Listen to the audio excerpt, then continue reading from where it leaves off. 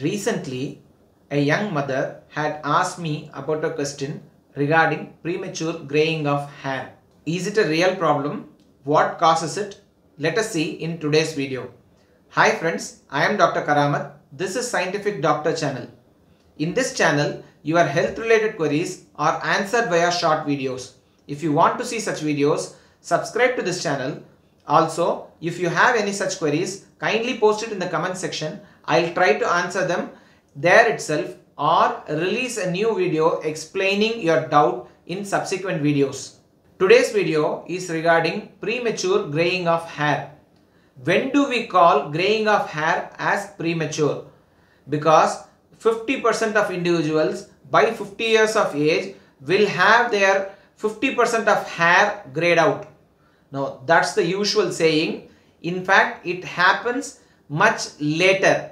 But any graying which happens before 25 years of age in Asians, that is Indians, or 20 years of age in Europeans, or 30 years of age in Africans is considered premature graying. This is also called as canities. Essentially, we have to understand that the pigmentation in hair is due to the melanocytes. There are two types of melanin, eumelanin and pheomelanin. Eumelanin is a darker blackish brown pigment and pheomelanin is a more reddish or orangish pigment. The proportion of these two melanins give rise to different hair colors in individuals like dark black or brown or red as in blonde. So all these hair colors are dependent on the proportion of these. When melanocytes fail to produce the pigments then it leads to graying of hair. What causes premature graying of hair? Even though it is not exactly understood, many of the studies have now proven that it is oxidative stress which causes graying of hair which can happen due to stress itself or smoking, alcoholism, ultraviolet rays or environmental pollution. So apart from these causes, diseases like hypothyroidism that is deficiency of thyroid hormones or vitamin B12 deficiency or folic acid deficiency. So these can also lead to premature graying of hair. So here we are not discussing about specific diseases or genetic syndromes which can cause graying of hair but usually premature graying of hair can run in families without any other diseases. So if your parents have had premature graying so you are also more likely to have it. So, is it a serious problem? Do you need to visit the doctor? If there is premature graying of hair, as I said before 25 years of age, kindly visit a general physician or a dermatologist because this can be due to diseases like hypothyroidism, vitamin B12 or folate deficiency.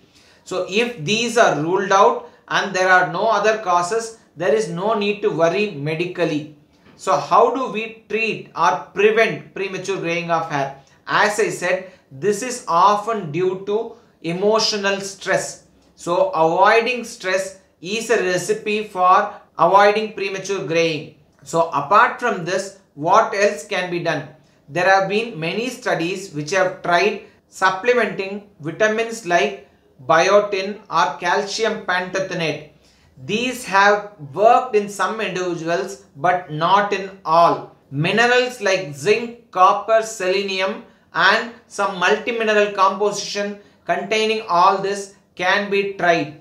In fact, antioxidant shampoos have also been tried. But the easiest way to mask premature graying is by the use of hair dyes. You can either use synthetic or natural hair dyes that is natural hair dyes like amla or henna which can be useful in masking this premature graying.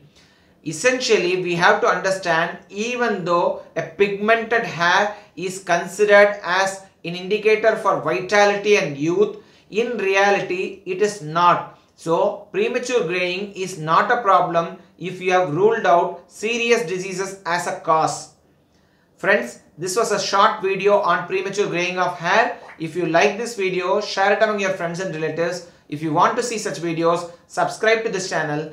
Till we meet again, bye.